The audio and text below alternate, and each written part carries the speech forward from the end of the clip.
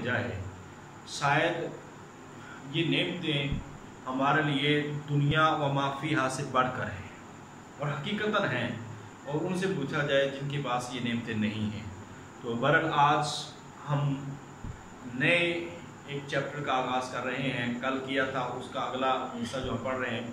तो मेरी शुरू से आपको ये बात ये बात रही है जहन में कि आपको मोटिवेट भी करना है और आपको पढ़ाना भी है और आपको मैक्सिमम हमने मैनेज करना है कि आप मैक्सिमम स्टडी करते हुए अपने जो मकासद हैं उसको उसको अचीव करें।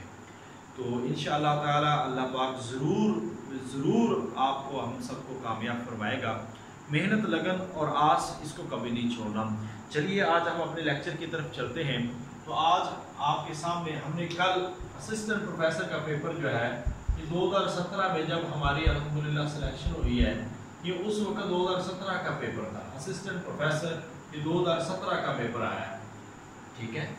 क्वेश्चन सेम ही है, बहुत सारे क्वेश्चन सेम आते हैं। सिर्फ़ आपको आइडिया देना होता है कि अगर ये क्वेश्चन इनमें ज़ाहिर बात इन्हीं में से आ सकते हैं।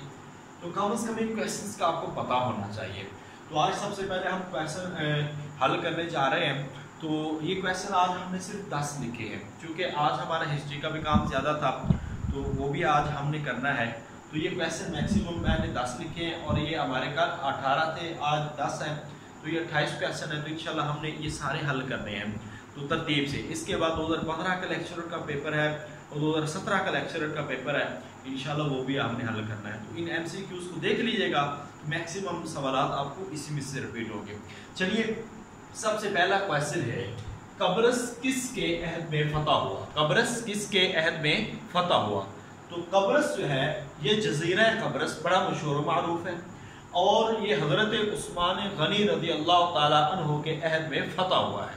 आपको पता है, हज़रत उस्मान गनी रदी अल्लाह तु के दौर में जो बहरिया का इंतज़ाम किया गया था, बहरी फौज का, वो सैदना उस्मान गनी रदी अल्लाह के दौर में है। और कब्रस एक जजीरा था जिसको उसी दौर के अंदर फतह किया गया था। और ये दौर है अट्ठाईस हिजरी। ये आपने याद रखना है कि कब्रस को 28 हिजरी के अंदर फतह किया गया। कब्रस का फतह हुआ है। 28 हिजरी के अंदर कब्रस फतह हुआ है। इसके साथ अमीरुल बहर का सवाल आ जाता है कि पहले अमीरुल बहर कौन थे? हज़रत अब्दुल्ला बिन तैस ये तय है। और मुझसे जब लेक्चरर का जब मैं इंटरव्यू दे रहा था तो जो हमारे सामने चेयरमैन पब्लिक सर्विस कमीशन बैठे हुए थे, उन्होंने मुझसे पहले ये सवाल किया था कि पहले एडमिरल कौन थे? पहले एडमिरल कौन? अब्दुल्ला बिन कैस अल्लाह पहले एडमिरल हैं, ये आपने याद रखना है। और ये क्वेश्चन ये तो आया ना असिस्टेंट प्रोफेसर में। 2015 के लेक्चरर के अंदर ये क्वेश्चन आया था कि किला जो कब्रस है, ये किस हिजरी में फतह हुआ है? तो ये 28 हिजरी के अंदर फतह हुआ है। अगला क्वेश्चन है जी किला रोहतास किसने तामीर करवाया? किला रोहतास किसने तामीर करवाया? ये शेर शाह सूरी। शेर शाह सूरी का नाम आता है। अब आपको एक ये भी आइडिया हो रहा है कि वो इस तरफ़ भी जा सकते हैं कि अगर हम पंजाब की तरफ़ जाते हैं तो उसमें रंजीत सिंह है शेरशाह सूरी हैं, उसमें अहमद शाहब्दाली है, उसमें जो हमारे अफ़गानिस्तान के गजनवी थे, गौरी थे, इन सब के बारे में भी आपको सवाल आ सकता है। 2015 के एसएस के पेपर में ये भी सवाल आया था कि बाबर, जहीरुद्दीन बाबर ने किस को शिकस्त देकर मुगलिया सल्तनत की बुनियाद रखी थी पानीपत के मैदान में? तो ये इब्राहिम लोधी था, जिसको वो उन्होंने शिकस्त देकर मुगलिया सल्तनत की बुनियाद रखी थी 1526 के अंदर। तो इस तरह के क्वेश्चन भी आ जाते हैं, ये सिर्फ़ मैं आपको आइडिया दे रहा हूँ कि ऐसे ऐसे क्वेश्चन भी हमारी नज़रों से गुजरने चाहिए। वो उसके सामने पूरा एक माहौल है, वो कहाँ से कुछ भी उठा सकता है। हमने हर लिहाज से अपने आप को प्रिपेयर करके जाना है। नेक्स्ट क्वेश्चन है जी, बादशाही मस्जिद अब देख लें, ये बरसगीर के हवाले से और ये हमने चीज़ें डिस्कस करनी है, इंशाल्लाह।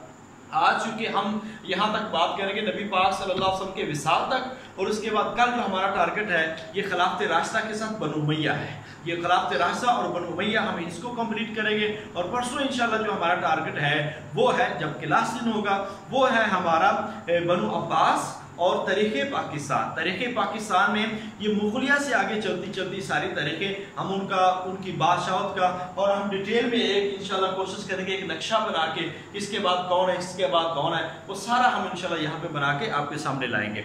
तो कल भी इंशाल्लाह खिलाफत रास्ता का भी ऐसे होगा और इस तरह हम परसों जब बनो आबास की हम बात करेंगे तो वो भी हम ऐसे ही करेंगे। नेक्स्ट क्वेश्चन है बादशाही मस्जिद किसने तामीर करवाई? औरंगज़ेब औरंगज़ेब आलमगीर थे जो बादशाह, इन्होंने बादशाही मस्जिद तामीर करवाई। ये भी आपको पता होना चाहिए दीन इलाही, वो जलालुद्दीन अकबर अकबर बादशाह ने दीन इलाही ईजाद किया था, इसकी मुखालफत की थी, sir Syed Ahmed Khan sir sir Mujdani ने, यानी अहमद सर हिंदी ने, ठीक है? तो ये भी आपको चीज़ें जहन में रहनी चाहिए, इनका सिलसिला रस्म और इनकी तरतीब इन आपको बताई जाएगी। कुतुबुद्दीन ऐबक को किसने मुंतब किया? अब कुतुबुद्दीन ऐबक को शहाबुद्दीन गौरी ने शहाबुद्दीन गौरी ने कुतुबुद्दीन ऐबक को मुंतखब किया।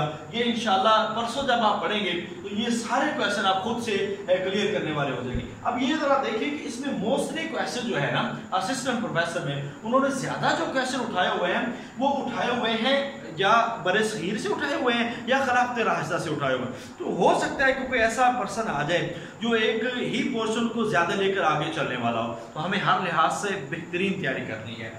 अब काजी अयास की सीरत पर किताब का नाम क्या है? अशिफा तारीफ़ हुकूक मुस्तफ़ा।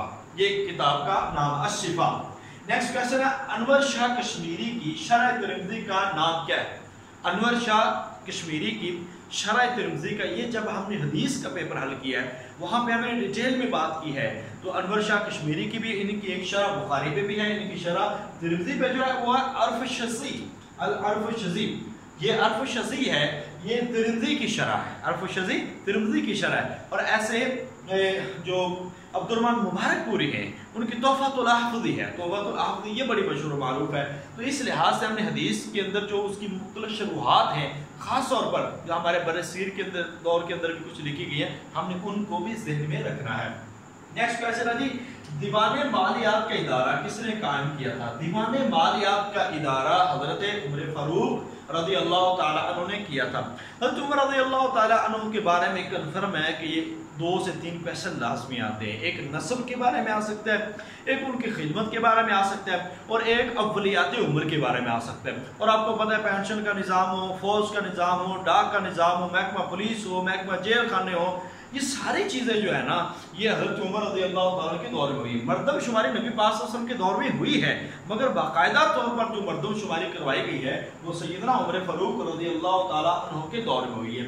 तो आप ये आपको ये क्वेश्चन बता दें, ये 2000 अब नेक्स्ट क्वेश्चन है, जहीरुद्दीन बाबर ने किसको शिकस्त दी अब ये 2015 के लेक्चर में सवाल आया है। इससे पहले भी मैं आपको बता चुका हूँ कि बादशाही मस्जिद वाला भी और कब्रस किस कैद में ये भी सवाल, ये तीन और ये गजवा तो दूसरा, ये सवाल आप जो है ना, ये 2015 के लेक्चरर में भी आए हैं। 2017 में एसएस में असिस्टेंट प्रोफेसर में आ गए तो इस लिहाज से अपने आप को मैक्सिमम तैयार करना है कि आपको बहुत सारे क्वेश्चन ऐसे आ सकते हैं जो सबका पेपर में आए हुए हैं। तो सबका पेपर को किसी भी लिहाज से आपने नहीं भूलना। मैक्सिमम उसकी तैयारी करनी है। नेक्स्ट क्वेश्चन है जी, जहीरुद्दीन बाबर ने किसको शिकस्त दी ये पानीपत का मैदान था? 1526 ईस्वी के अंदर जहीरुद्दीन बाबर ने जो लोधी खानदान के फरमारवा थे इब्राहिम लोधी उसको शिकस्त दी थी पानीपत के मैदान में, इब्राहिम लोधी को पानीपत के मैदान में इन्होंने शिकस्त दी थी। नेक्स्ट क्वेश्चन है, गजवातुल उसरा, किस गजवा को कहा जाता है? गजवातुल उसरा, ये आज हमने गजवात की जब बात करनी है तो उस वक्त हम यहाँ पे डिस्कस करने वाले होंगे कि गजवातुल उसरा किस कहते हैं, किसे कहते हैं?